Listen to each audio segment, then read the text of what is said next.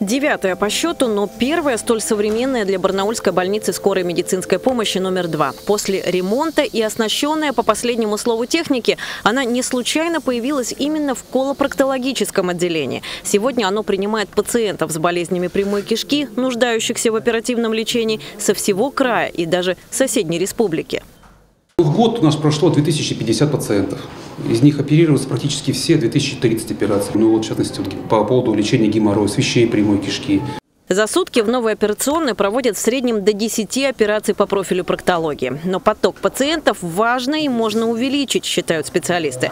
Во-первых, растет число людей, страдающих деликатными, но при этом изматывающими проблемами. А во-вторых, упор на лечение малоинвазивными, то есть щадящими способами, позволяет быстрее восстанавливать пациента. В стационаре он лежит уже не 14, а всего 4-5 дней.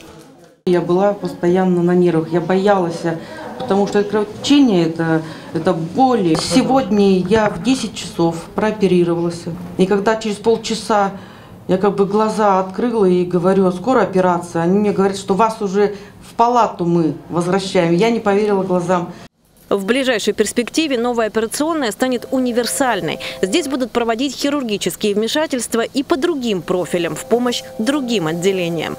Здесь будет докуплено оборудование в виде видеолапароскопической стойки, и мы здесь будем выполнять в том числе и общехирургические мини-инвазивные вмешательства. Эта, стой, эта операционная будет работать в основном в дневное время как колопроктологическая, но в ночное, вечернее, выходные дни она будет использоваться там, где нужно. В общей сложности за прошлый год в БСМП номер два провели больше 10 тысяч операций. В этом году установят явно новый рекорд. Но количество, говорят врачи, не главное. Важно, что, не снижая качество, медпомощь для больных становится доступнее. Елена Макаренко, Владислав Ковалев. День с толком.